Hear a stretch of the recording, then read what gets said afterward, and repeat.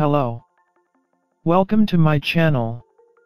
In this lecture, I'm gonna try to explain how to use the mirror modifier. The mirror modifier mirrors a mesh along its local x, y, and z axes across the object origin.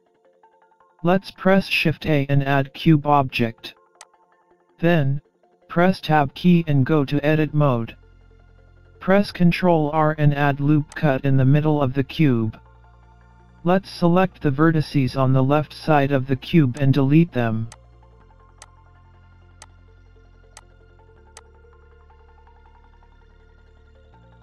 So we have half of the cube now. We can use the mirror modifier to mirror this to the other side. Let's go to modifier menu and add mirror modifier. There we go. We have mirrored along x-axis and across the object origin. Don't forget that object origin point is the mirroring point. So, if we try to move the vertices out, it creates a gap between mirrored and original object.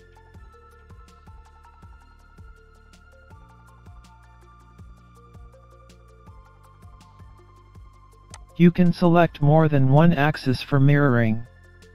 Let's add loop cuts.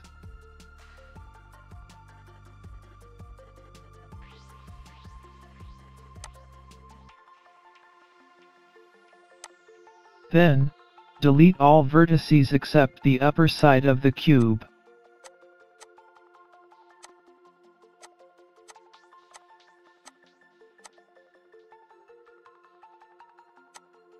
Firstly let's enable the y-axis mirroring and then z-axis mirroring.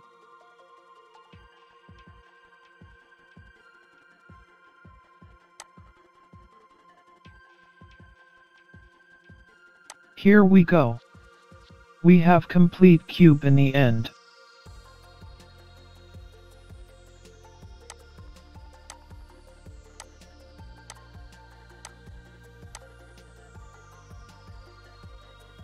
Let's add monkey head.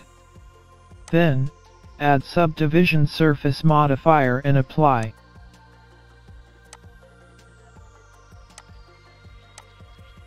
Right click and make shade smooth. Let's go to edit mode. Press 1 key for front view. Press Alt Z and go to X-ray mode. Let's select the vertices on the left side of the monkey and delete them.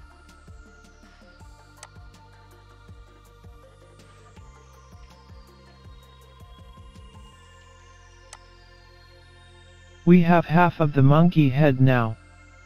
Let's add mirror modifier. We have complete monkey head now. Now, if we try to edit one side of the monkey, also the other side will be edited symmetrically. It is very useful and handy if we work symmetrically.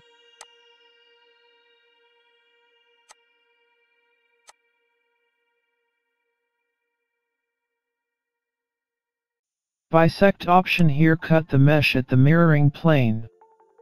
Before we enable this option, let's select all vertices and move them other side. You can see the vertices can cross to the other side and they still get mirrored. When we enable bisect along the x-axis and move them on the x-axis, you can see the vertices doesn't pass through anymore and they merge together at the mirror plane.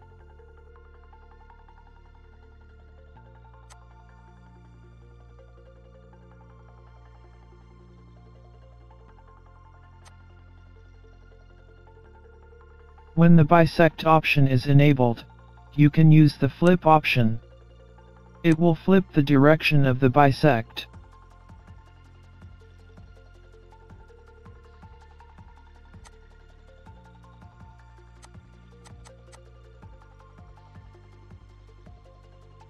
Let's undo to get back our mirrored shape.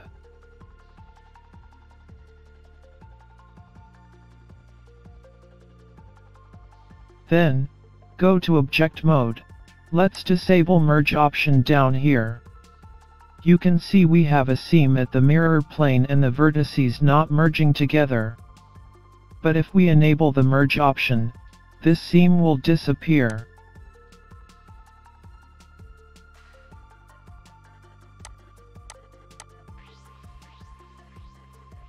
The merge distance is the maximum distance between a vertex and its mirror copy at which they are merged together.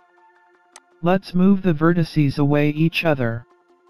Then, let's raise the merge distance to 0.5. Here we go.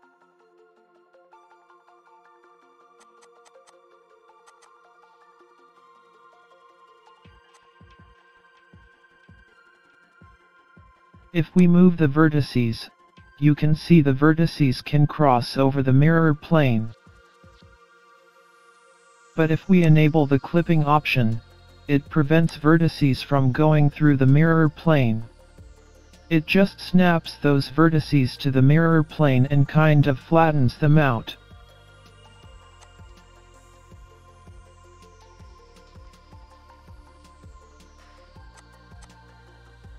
We can also use another object's origin as the mirror center.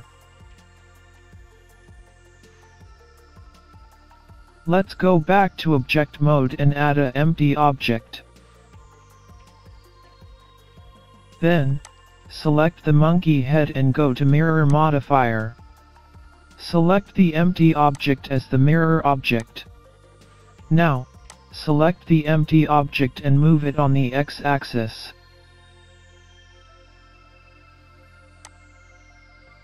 There we go. Our new mirror center is the empty object's origin.